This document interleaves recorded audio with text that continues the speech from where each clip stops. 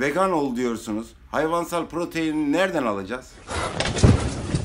Dostlarım, hayvansal proteinle bitkisel protein arasında hiçbir fark yok. Marketin kasasındaki görevli parayı kimden aldığınıza bakmaz.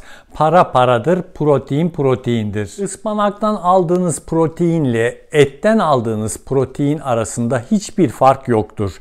Çinli araştırmacılar 3200 kişiyi kaslarını ölçerek takibe aldılar ve alınan proteinin hayvandan veya bitkiden gelmiş olmasının kas kitlesi üzerinde hiçbir etkisi olmadığını gösterdiler. Dostlarım, içinde yağ, şeker, tuz olan besinler lezzetlidir tat duyusunun sizi aldatmasına izin vermeyin.